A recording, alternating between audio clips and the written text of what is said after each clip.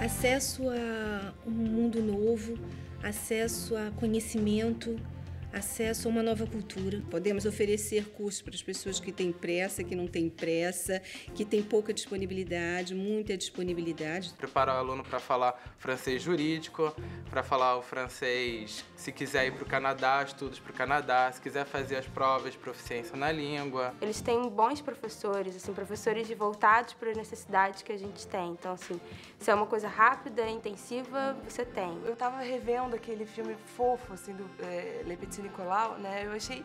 Gente, eu consegui entender, assim, várias coisas. Eu achei, assim, fiquei ma maravilhada. Eu acho que eu estou falando bem francês, a princípio.